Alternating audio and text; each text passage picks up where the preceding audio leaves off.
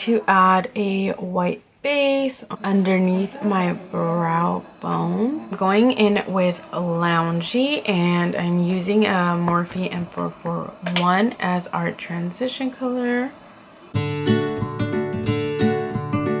I'm just grabbing the Makeup Shack T64 and blending out all these harsh lines to go into Wonderlust, which is the more darker shade.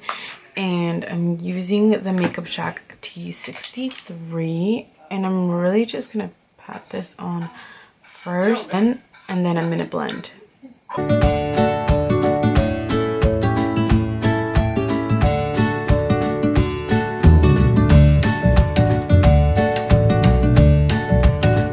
It's a little crazy so what I do after is I'll clean this little brush on this little thing.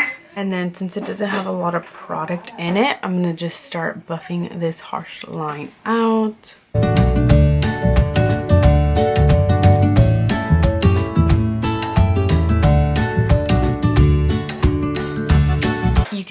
It just starts blending out. And I'm going to add Sun Glow on the middle. And I'm just using a flat brush. Guys, is there ever a video when nobody's talking in the background? Like, literally.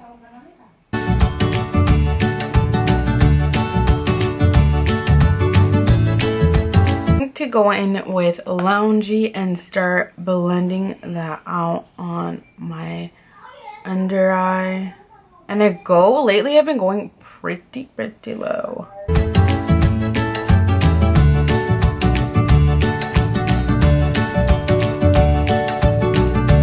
to grab Wonderlust and start packing that on. And I, like I said, I'll pack it on the color and then I'll blend it out.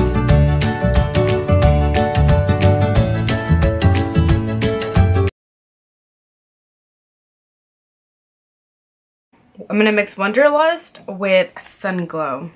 These names confuse me, guys, because they're like on the opposite side of that, so it's confusing. I'm just gonna blend everything else, like those little last details. I'm up close and personal, even more personal.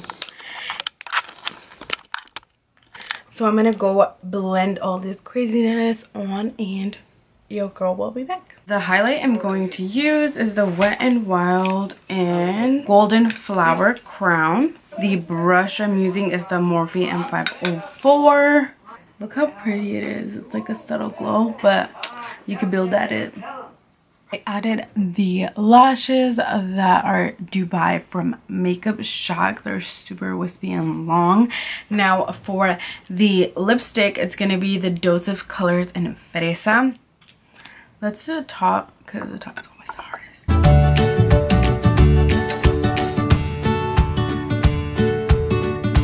is the final look right here. I hope you guys enjoyed it. Let me know if you guys liked how I brought back the close-up on the eyes. Don't forget to like, comment, share, and subscribe. If you haven't, turn on your post notifications so you get notified every time your girl uploads. I know I missed last week, but I'm um, uh, do you guys extra videos this week. So I'll see you guys next time. Bye guys.